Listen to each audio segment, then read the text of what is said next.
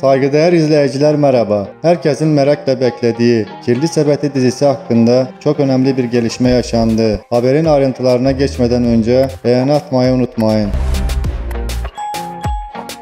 Fox TV'nin ses getirecek olan iddialı yapımı Kirli Sepeti dizisinin çekimleri geçtiğimiz gün tüm hızıyla başladı. Herkes Halil İbrahim Ceyhan'ın gerçekten dizide rol alıp almayacağını merak etmekteydi.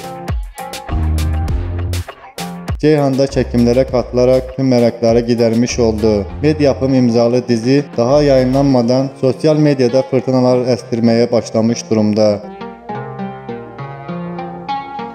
Dizide yapımcılar lüks bir sitede temizlikçi olarak çalışan Meryem'in intiharı sonrası yaşanan aklanmaz olayları ele alacaklar.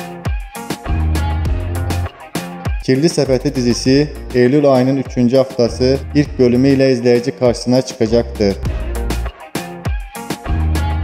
Dizinin okuma provalarında samimi görüntüler oyuncuların şimdiden birbirine ısınmış olmalarının habercisi gibi duruyor.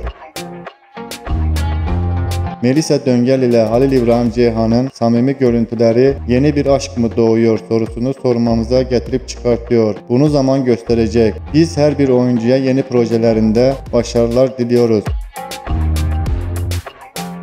Peki sizce Ceyhan yeni projede başarılı olur mu? Düşüncelerinizi bizimle paylaşmayı unutmayın. Teşekkür ediyoruz.